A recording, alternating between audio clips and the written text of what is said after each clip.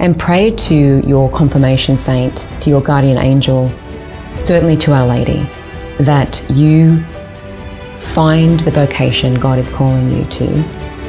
And that might include praying for the man you're to marry, um, because it could be Jesus Christ.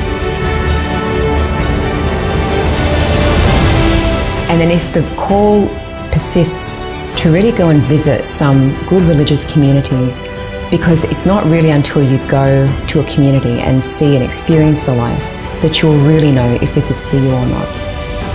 You actually need to live with a community and experience the charism as lived out by that community. Witness their apostolic works, and that then becomes concrete. It manifests whether you are called or not. Not just to that particular community, but to religious life in general.